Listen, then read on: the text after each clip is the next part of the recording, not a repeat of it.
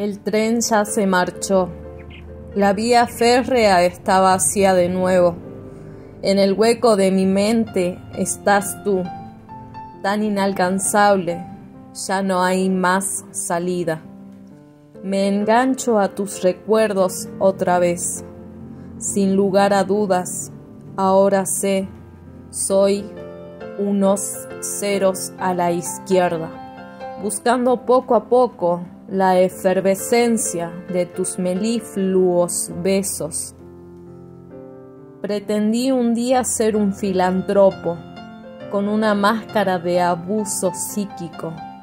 Te he proyectado tan pronto mi vida de bohemia y de casa noviana. Ahora tan impronunciable lo que sentías por mí. Un cariño inmarcesible, hasta padeciste de limerencia por mí. Ahora me pone agapornis, me arropo en el reflejo de colores distintos, buscando en el arco iris la luz de mi penumbra y lo que un día fue ternura. El rescate fue nuestra gris y enseñoreada moral, resonando fuerte, también despacio. La distancia prudente el paraíso nos concederá.